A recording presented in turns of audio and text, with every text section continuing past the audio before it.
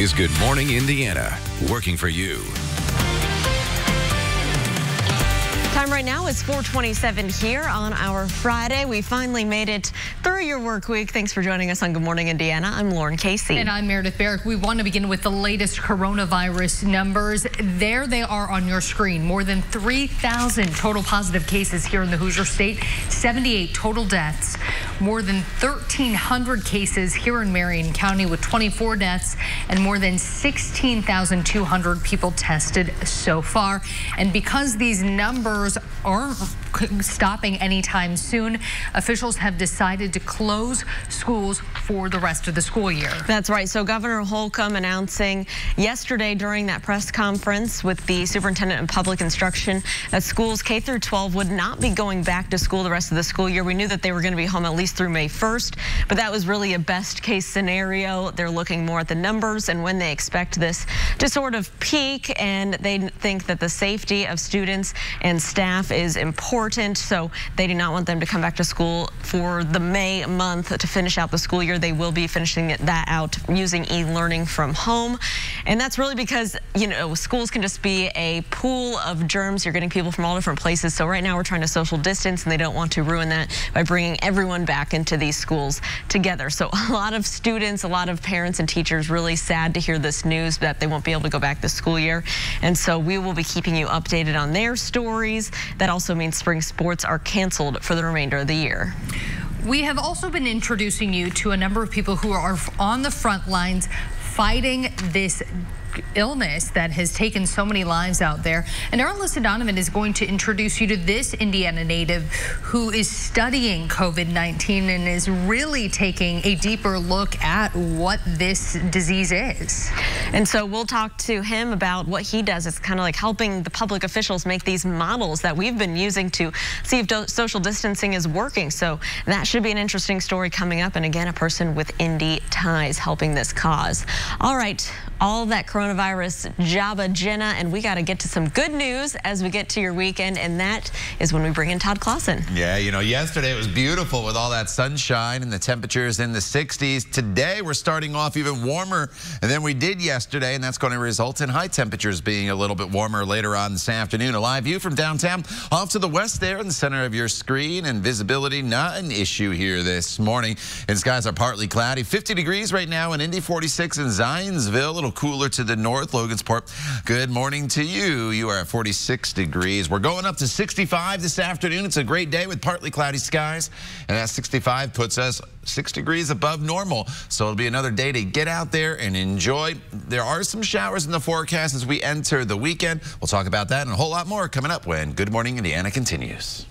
This is Good Morning Indiana, working for you. In Indiana are now closed for the rest of the semester because of COVID-19. What that means for high school seniors as they look to finish their final year. Unemployment across the country is at an all-time high. What the federal government and local communities are doing to help small businesses keep their employees on the payroll. And hundreds of Hoosiers got together to show support for our local healthcare workers. The social distancing display aiming to uplift those on the front lines.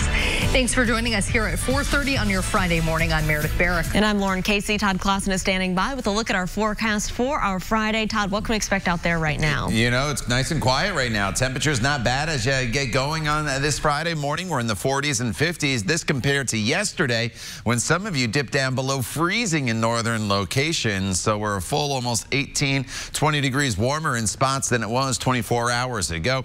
It is 50 right now in Bloomington, Martinsville, as well as Indianapolis. 43 as you work your way from Muncie to the north north up towards the Peru area. 47 is the current temperature in Greencastle. Now, when you look at this, I know what you're thinking. Oh no, here comes some rain. This is not reaching the ground.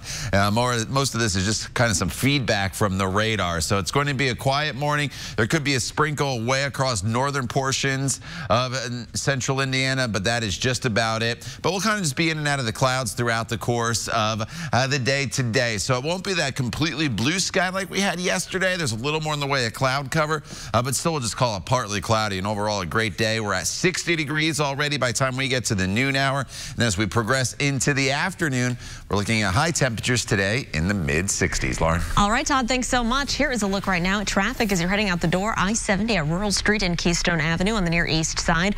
Traffic here is pretty quiet this morning and traveling up to speed. We will continue to keep you updated if there are any major crashes or delays for your commute. It's going to take a collective effort to save lives, and schools must do their part. State Superintendent of Public Instruction Dr. Jennifer McCormick announcing all K through 12 schools will be closed for the remainder of the school year. The state making more changes as the number of Hoosiers infected with COVID-19 continues to grow. Indiana now has more than 3,000 confirmed cases of the disease. 78 people have died. In Marion County alone, 1,300 cases have been reported, including 24 deaths. So far, the state says more than 16,000 people have been tested. Well, school buildings are now required to remain closed for the rest of the school year because of that outbreak. And that means that students will have to continue doing their schoolwork through that remote learning. For high school seniors, the state is making changes to make sure their graduation will not be delayed for seniors for the class of 2020, you will be required to have earned your credits and for any course that you are enrolled in will count toward that. So if you have earned your credits up to semester seven or in middle school and are enrolled in courses that will get you across that stage, you will be recognized as a 2020 graduate at the conclusion of your calendar or your instructional year. Schools must also complete a minimum of 160 total instruction days or at least 20 more days of remote learning from April 2nd to the end of the school year. Following that announcement, the Indiana High School Athletic Association said it is also canceling spring sports. That includes baseball, softball, golf, tennis, and track. The IHSAA says it supports the state's decision to close schools and urges residents to follow safety guidelines. 6.6 million Americans filed for unemployment benefits last week, doubling the record high set just a week ago. Indiana's numbers are also climbing as the economy continues to be devastated by the coronavirus outbreak. More than 146,000 Hoosiers filed unemployment claims last week. The Department of Workforce Development says it is now making changes to handle the surge of applications. They are hiring 77 new state employees and have opened up a new system where Hoosiers can file over the phone or online. The federal government also added a new category of workers who who can apply for benefits. They include contractors, freelancers, and gig economy workers like Uber and Lyft drivers. Today, a new federal lending program for small businesses that was part of that massive stimulus bill is supposed to begin. But some banks who are part of the $350 billion program aren't sure if they're ready yet. The Paycheck Protection Program is supposed to help small businesses survive the pandemic by offering loans to help pay with payroll and other expenses. But the Trump administration only finalized rules for the program two days ago. So some banks will be lending the money, they say that they're still going over the rules and they may not be able to take the applications from small businesses just yet. And leaders in Hamilton County are also working to help small businesses in their community. The city of Noblesville is offering them money through a grant program. Businesses can apply for aid up to $10,000. That money will come from the city's rainy day fund. For local owners like Jason Manship of Moonshot Games, it would be a big step towards helping businesses like his survive. Such a cool concept. I mean, to, to see the city stand with the people that you know are there with it. I mean, we're there every single day. Well, so far, 70 businesses have already applied. A committee will then decide where the money goes. The deadline to apply is by the end of the day today. We do have a link to do that on our website, theindychannel.com. COVID-19 is having an impact on the way people drink in central Indiana, and it's especially tough on those in recovery. Liquor stores are still open, yet people are isolated and stressed. Alex has been in recovery for 20 years. Now, we're not showing you his face because he is part of Alcoholics Anonymous. He says now is a rough time for recovering alcoholics because almost all AA meetings have been moved to virtual meetings rather than in person. They're stressed. It's a lot of people, especially uh, newer folks in recovery, struggle when they're isolated. And uh, this is what is happening right now everywhere. Experts say if you're finding you need alcohol to get through the day, you could have a problem. Another red flag is if friends or family are telling you to cut back. The first step is to talk to someone like a healthcare provider, go to an AA meeting, or call a hotline. Like we mentioned, AA meetings are still happening virtually all over central Indiana, and we've included some links on how to find one in this story on the RTV6 app. An Indianapolis agency, nonprofit group, and beloved sports franchise are now working together to help some of our most most vulnerable neighbors. The Office of Public Health and Safety, Second Helpings are partnering to provide meals for people experiencing homelessness. The food is being stored in the Pacers refrigeration facilities. Thousands of meals will be provided to those living in the unsheltered camps over the next few weeks.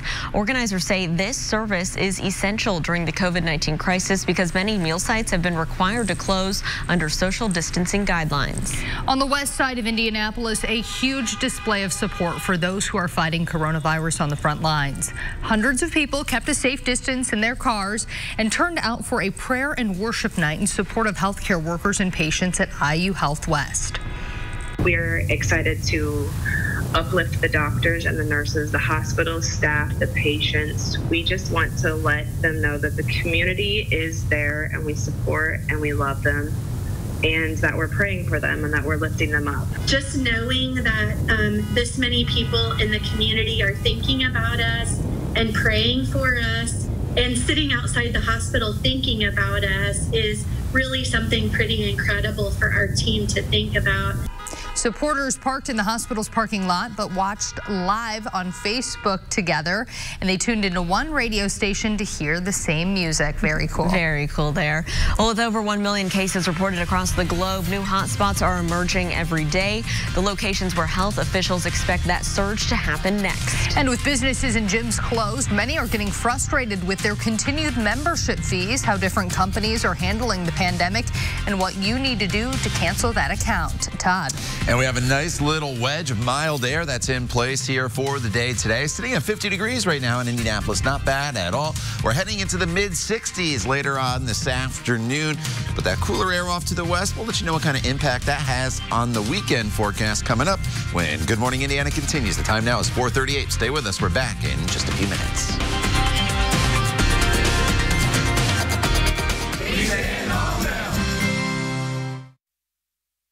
Welcome back. It is 441. Here's a live look at traffic over on the west side, I-465 and I-74. You can see traffic here is moving along up to speed this morning. No major issues to slow you down. There are now 1 million cases of COVID-19 worldwide. The United States, Italy, and Spain are the three most affected nations. More than 53,000 have died globally from the virus, and according to Johns Hopkins University, more than 200,000 have recovered.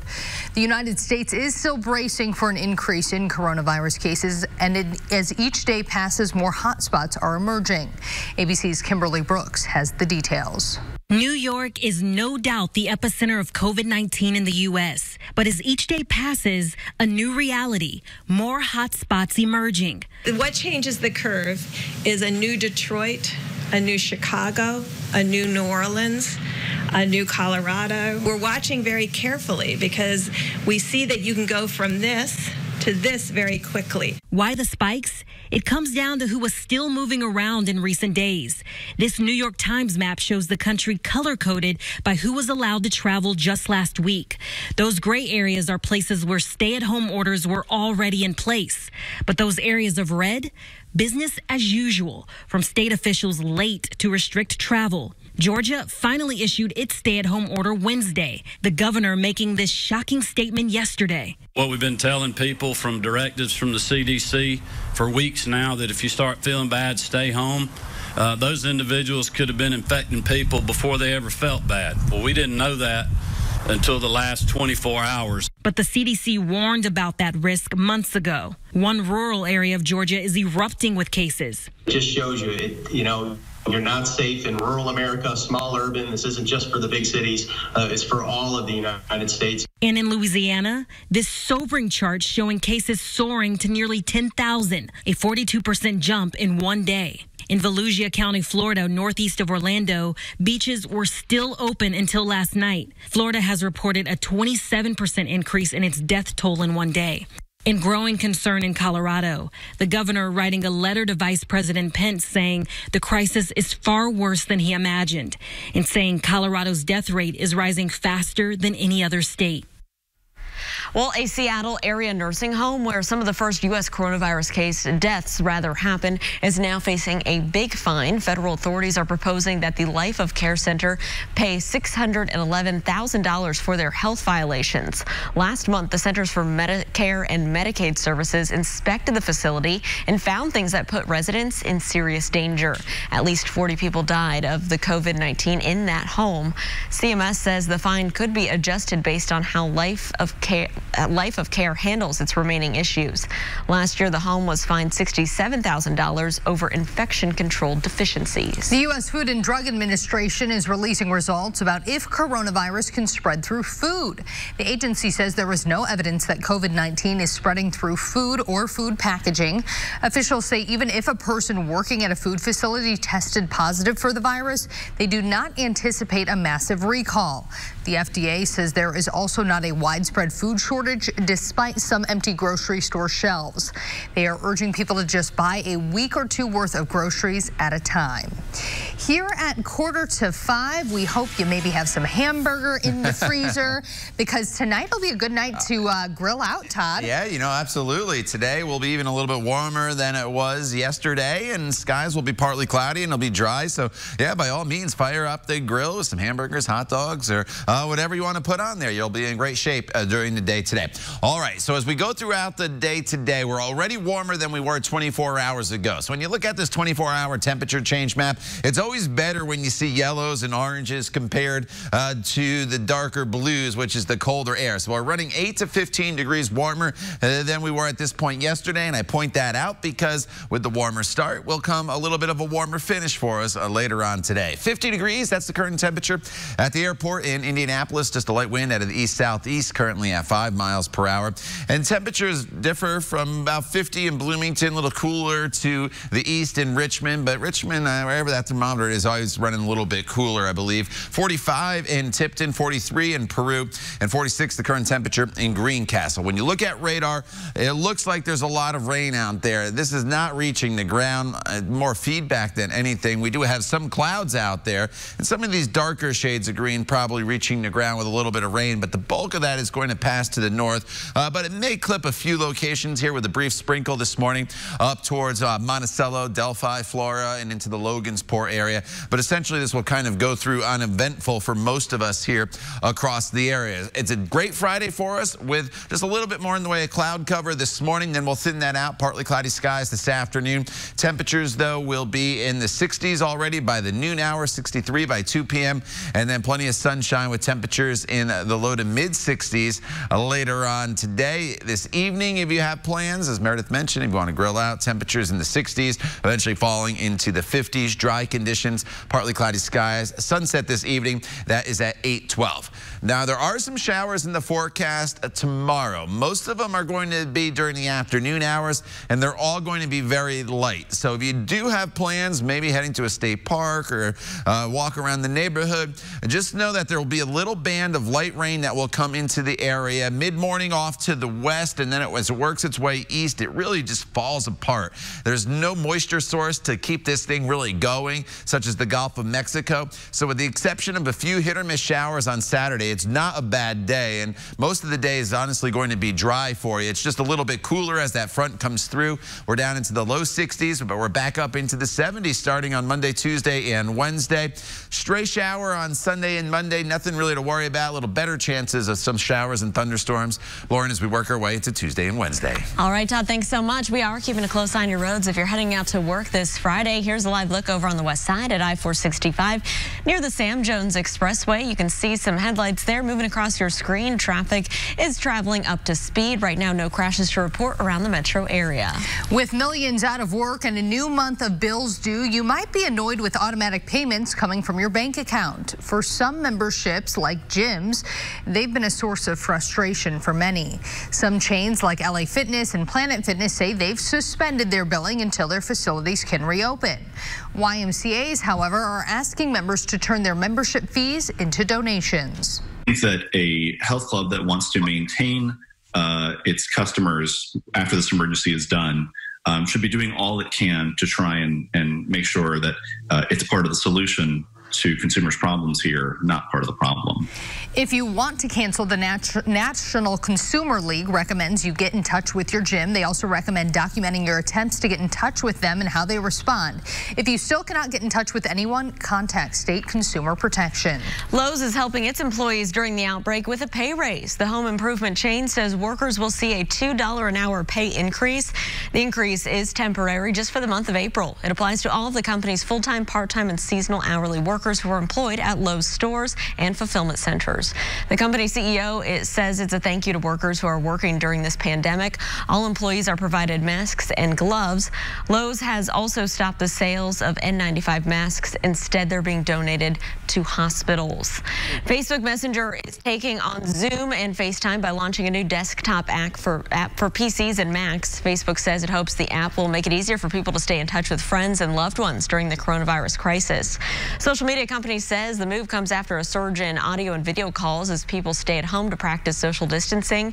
Over the past month, Facebook says it saw more than 100% increase in people using their desktop browser for calling on Messenger.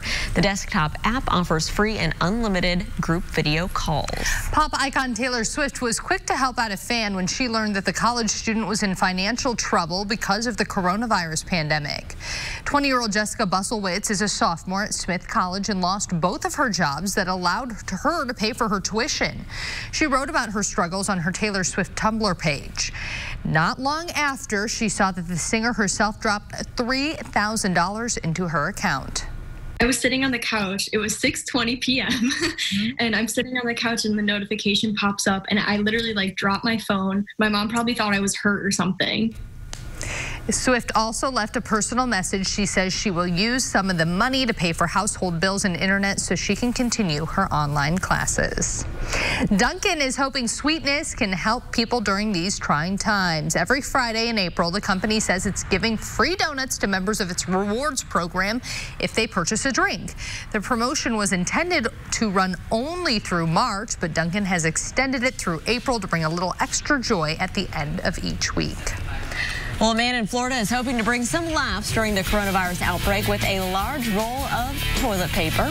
After the break, a look at the giant front lawn decoration. And scientists across the globe are doing what they can to fight the coronavirus. New at 5, we talked to an Indianapolis native who is also studying the new disease. It's 451. We'll be right back. At steeldealers.com. welcome back to Good Morning Indiana. We are keeping a close eye on the roads. A little bit of construction for you near Meridian Street on the north side. This is a view near White River. It looks like traffic is moving along up to speed. No delays on the north side. A homeowner in Florida is having some fun with the nation's rush on toilet paper by hanging a giant roll in his front yard. Donald Ryan displayed the TP between two palm trees at his Fort Myers home. He owns a craft business called Who Would Wonder and also used the decoration to advertise. Ryan says he thinks the whole toilet paper phenomena is hilarious and thought it would make some people smile during these tough times. Of course, it's the most important thing. You got to laugh or you're going to just drive yourself crazy. This is not the first time Ryan has been recognized for his unique decorations. He is known for putting Christmas lights and Halloween decorations suspended between the trees every year. That is pretty funny. I do wonder where he got all that paper from, right? Oh my. And what he's going to do with it when it's all over. Right? It's a big roll. All right, Todd, let's roll into the forecast for our weekend. You know, and it's, it's not a bad forecast. As you look at your seven day, you'll see numerous days where I have some rain icons in there. Just know that no day is a complete washout. Today, no threat of rain, 65. A mixture of sun and clouds. Some spotty showers tomorrow. They're light. It's only a brief window that we have them in the forecast. So most of the Saturday's dry, just a little cooler at 62, but then into the 70s Monday, Tuesday, and Wednesday. We'll go into detail about your seven day planning forecast when Good Morning Indiana continues. The time now is 4.57. We're back in just a few minutes.